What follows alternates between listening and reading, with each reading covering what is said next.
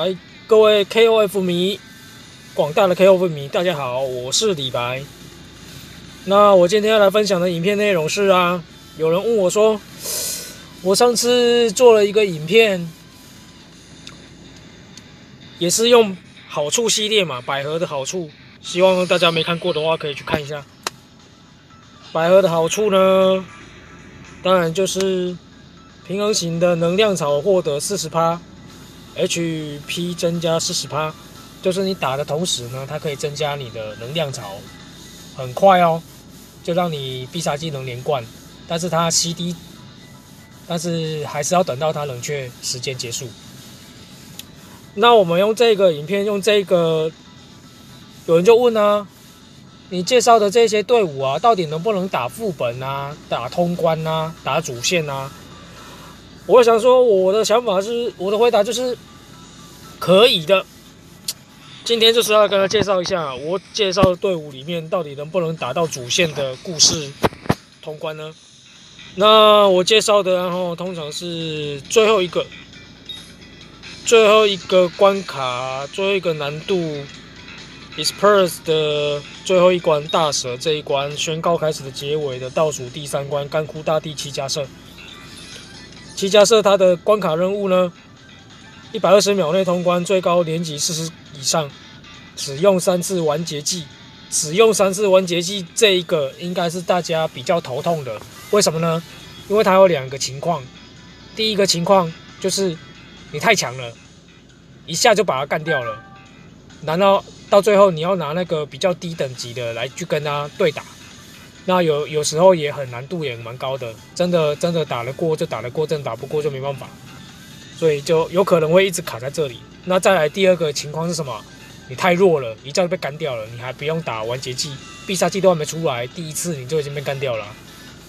对，所以呢，我们就用这一个百合的好处，百合的增加能量槽来通关。跟你讲，真的很快，但是呢。你不要因为太快把它干掉了，就变成说我们的第一个、第一个、第一个方式，就是第一个问题，就是你太强了，你一下就把它打打打倒了。好，那我们就这样通关给大家看哦。它是蓝属性的，我们可以用风仙人。哦，这我我身上都没有风仙人，没有风仙人的话，那我们就用找丁小雨当帮手，李小雨当帮手，看丁小雨，还蛮蛮顺的啊，丁小雨。那我们就试打看看，给大家看的嘿。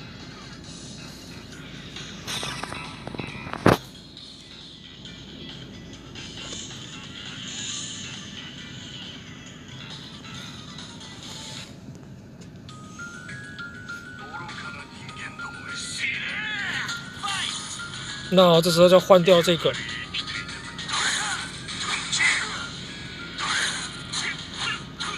因为我蛮蛮怕用。第一次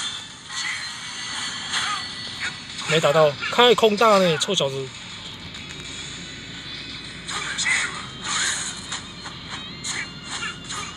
第二次，但是要等他冷却完成，所以要先闪一下，不要打太快，把他干掉了。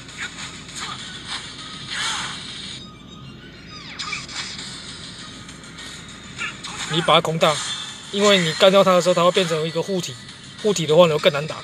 那这时候你就可以。哎呦，臭小子啊！上勾拳两个，再来一个。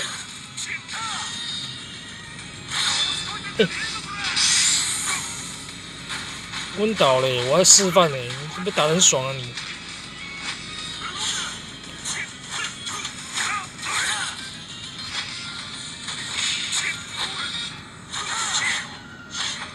第三个，有没有？哦。差点示范就错又失误，这样三次你就可以拿到了。我们刚刚是三次完结技吧，是不是？所以就是这样，就是这么简单。哦，差点错误的示范又开始了，没关系啊。你真的，大家真的一直卡在这一个三次完结技的状况下。刚刚讲了两个情况，一个你太强了，一个你太弱了。没关系，哦，来用一下我们的百合哦，我们百合的好处就在这里。但是你要用平衡型的，平衡型的，平衡型的话，你可以用三岛一八推荐呐，推荐三岛一八，真的哇，这个铁拳系列的真的是太强了。那你可以用哪一个呢？你也可以用这个。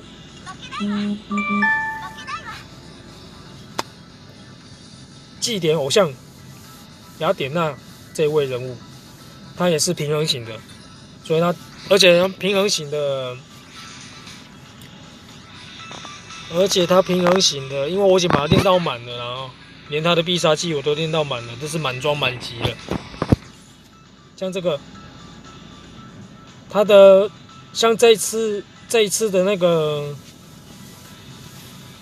偶诶，祭典偶像雅典娜系列又复刻了，所以呢，它的战斗卡真的要打哇！这个战斗卡真的很好用，攻加攻击力又加暴击，然后假设放在雅典娜身上的话，它攻击所按的 P 诶所获得的能量草 PG 量增加百分之三点二，再加上你的百合的四十，哇！我跟你讲，更快，是不是？就是这样了，好。这就是我现在介绍的，你只要解任务卡在三次完结季的，就是用这一个副这一个我之前所介绍的百合系列好处，百合好处系列，看我要讲什么，百合好处系列可以拿来使用看看，真的很快，真的让你很快就通关，但是千万不要太快，快到又变成把他打倒了，你还是要再重新解一次。好，那以上。影片对你有帮助到你的话，请记得帮我分享、按赞，并订阅我的频道。我是李白，好，大家下次再见，拜拜。